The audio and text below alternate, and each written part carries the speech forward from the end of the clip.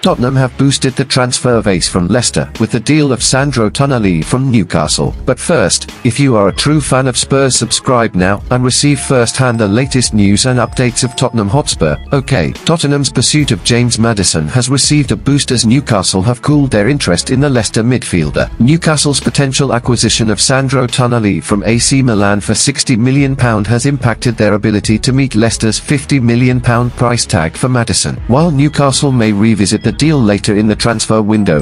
Their indecision opens the door for Tottenham to make a move. Although Spurs cannot offer European football, joining them would ensure Maddison remains in the Premier League and in contention for England selection. Maddison has one year left on his contract, and Tottenham have already made a joint bid with Harvey Barnes, which has certainly been rejected by Leicester. Considering Maddison's value, which has increased significantly since his departure from Norwich in 2018. So friends fans, keep an eye on this news closely here on our channel portal Tottenham News. Like and subscribe for more updates. We are waiting for you with more news.